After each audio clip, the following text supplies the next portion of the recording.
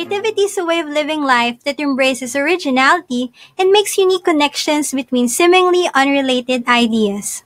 Good day, everyone. I'm teacher Hannah, and today I'll be sharing to you all about creating interactive instructional materials for teaching science. And now, let's be creative. Here is our learning target for this session. As an educator, I can improve my instructional materials by integrating interactive elements to make them more engaging and personalized. With that, my talk is divided into three parts. First, the introduction. Second, the classroom application. And third, something to add. Dear educators, let's think about this. How would we describe an interactive instructional material? According to the Mausay and Aguna, interactive learning materials are learning modules that are being developed to stimulate and engage the students' learning. Thus, the role of the teacher is to provide students with the requisite tools to embark on this journey, filled with adventure, curiosity, and wonder. According to Das and Yeager 2009, science teachers are expected to create an environment conducive for students' active question. Due to the digital era that we live in, we have various technologies available. All these new technologies have one thing in common. They both support synchronous and asynchronous sessions and learning. So now let's proceed to the pros and advantages of creating and using interactive instructional materials inside our classroom. First, it can provide immediate feedback to the learners.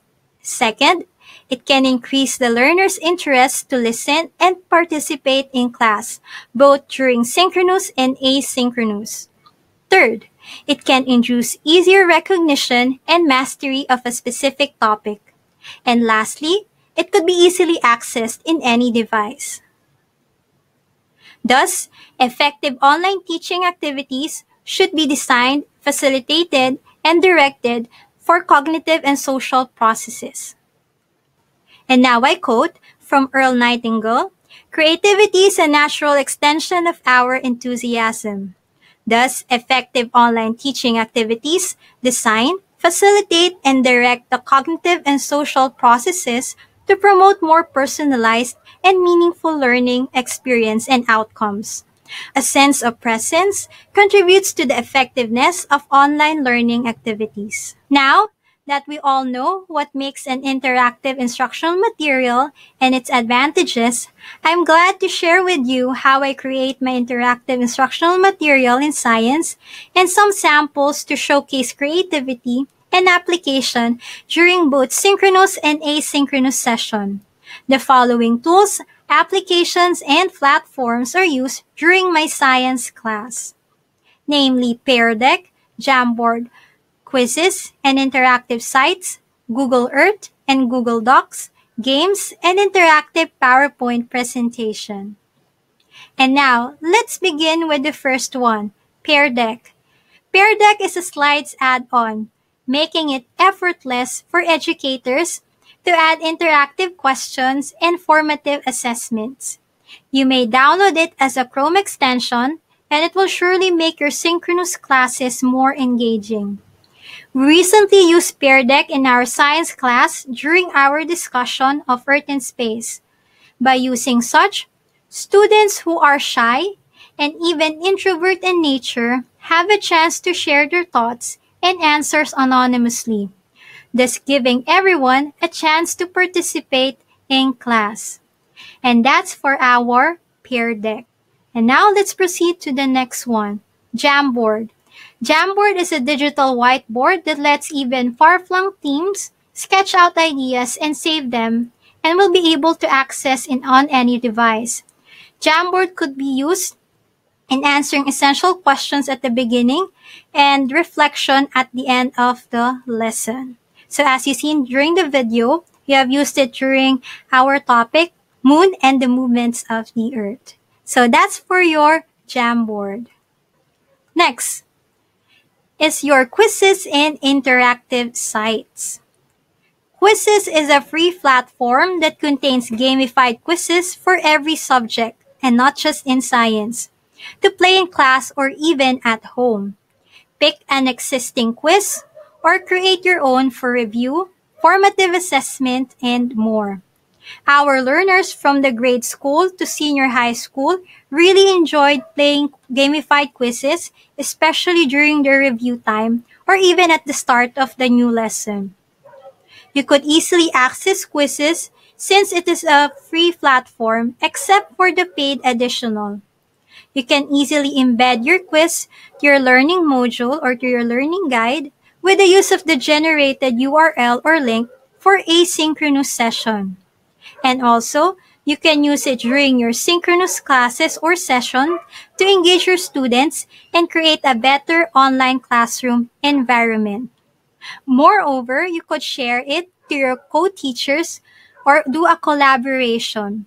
During synchronous session, you could do it either live, via solo, or teams. And if it's during asynchronous session, you could do it as an assignment or homework.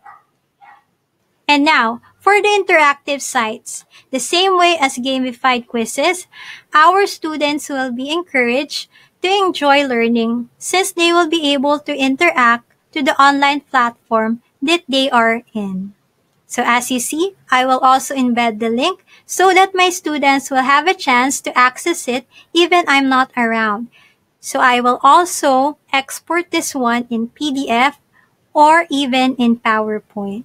So there you go. That's for your quizzes and your interactive sites.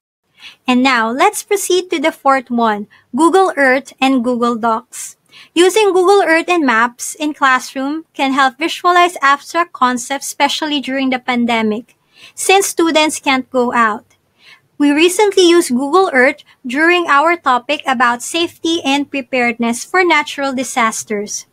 I have given my class instructions and afterwards they use Google Earth to locate their own area or house address. Then they observe if there are hazards such as bodies of water, fault, trees, and other large structures. Then, upon learning such, they have chosen one from the three natural disasters, earthquake, volcanic eruption, and or typhoon. And they think of safety tips appropriate for their chosen natural disaster. Then, with the use of Google Docs, I was able to compile their answers. And what's good with that is that teachers and even the students will be able to go back with it during your asynchronous session. So that's for your Google Earth and Google Docs. Now let's proceed to the next one. Using games.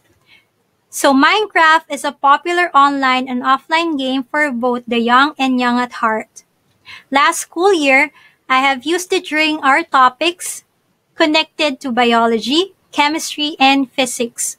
My students really enjoyed working on their own or even collaborating with other classmates in accomplishing their performance task. So the use of games inside one's classroom has many benefits as long as it is used responsibly.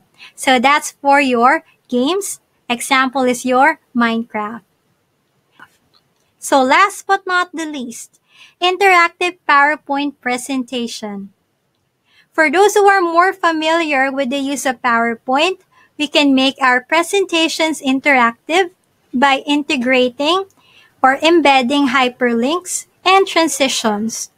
And these are some samples of my interactive PowerPoint that I have used during my biology class. Even in an offline mode, we could engage our students to participate with the use of Jeopardy, and also picture puzzle and more. So that's for your interactive PowerPoint presentation. And now we are at the last part of our session. Those are some of my classroom applications and also platforms that I've been using for my online distance learning. And now here are some additionals that will surely help you make your class engaging and interactive as well. So from Kahoot, to Science Kids to Legends of Learning. And there are a lot more in store uh, when you search online. The most creative people find ways around obstacles because they see them not as roadblocks but as opportunities. Creativity expands our perception, and along with expanded perception comes new ways of problem solving. Are you ready to be creative? So let's connect. If you want to find out more about online distance learning and ICT related topics, kindly visit us in our official uh, YouTube channel, ICT Tech Tips, and even in Facebook. We can imagine, we can create, and we can definitely make a change. Again, I'm Ms. Hannah Lois T. Navarro, a certified Google Educator Levels 1 and 2, a Microsoft Innovative Educator, and a certified Apple teacher. And lastly, a grade school science teacher of De La Salle Santiago Zobel School, saying thank you and good day.